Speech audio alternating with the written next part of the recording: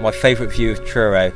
I, I, think coming in on the train is my favourite view of Truro, looking down over the city with the cathedral sticking up in the middle. My favourite view of Truro is walking into town down Tregolls Road and seeing the whole of Truro stretched out in front of me. Up the hill from Falmouth, and you hit the roundabout, and then you, you descend down into Truro, and you see the whole town and you see the lovely spires that ascend above the all the buildings. As you go up to the train station and you go right into Brunel Court at about six o'clock um, when it's dark in the winter when the uh, cathedral's all lit up. I grew up in Truro, but always found if you go away on the train somewhere, you come back, and as you get back around the corner, then there it all is. St Clement's Cemetery, and it's right at the top, so you've got a beautiful view of the viaduct. I think you can see the Crown Court, so it looks that way into Truro. On the eastern side of the old bridge in Old Bridge Street, looking over the parapet. In the summer, there'll be a little shoal of blue mullet swimming against the current and standing still and just feeding on what's coming down from what Cornwall's bringing down to feed the blue mullet. Uh, looking up, uh, standing on the bridge, looking up the River Lemon, uh, with the cathedral in the background. I'm going to say the skate park.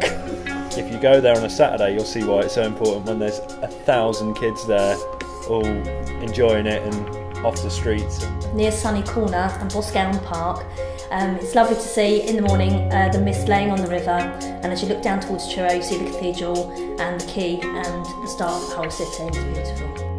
Uh, from 5 Lower Roseman Rose, bedroom. I like Truro. It's got a nice atmosphere. It doesn't feel. It's, it's kind of. It's a city, but it's a town. You know, it's a city because it's got a cathedral. Because it's a city, but it's. It feels like a, a friendly town.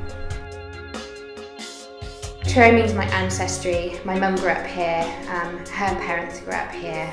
My family have run businesses in Truro, and now I'm proud to be running a business in Truro myself. I lived away for about 26 years, I think. And then I came back and there was this uh, intense feeling of coming home and being in the right place again. Um, Truro means to me um, the beginning of my career working, um, and I love it as my new hometown. So I always think that, that all the seagulls flying around in the sky, you know, they're all up there protesting at the fact that we're all down here and we put this great covering of concrete and tarmac and stuff all over their natural feeding grounds. And so they're up there complaining. Underneath, we have contained the rivers. In the middle of all this sort of modernist, brutalist concrete, the multi-storey car park and the old Carrick offices and all that, there is these willow trees that drop down into this stream that flows down through the middle of it very quietly. You know, what I always think about is is the fact that actually it's a swamp, it's a delta, uh, it's mud, uh, that there's a whole life going on underneath. That them up there is whirling about, screeching, know all about, and we don't know anything about at all.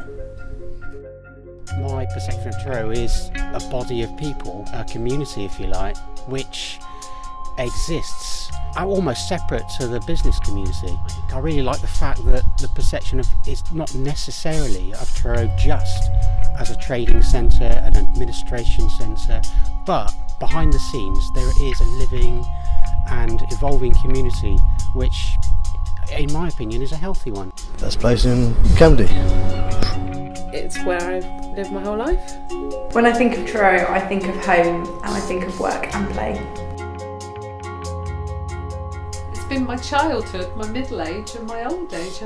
It's home to me.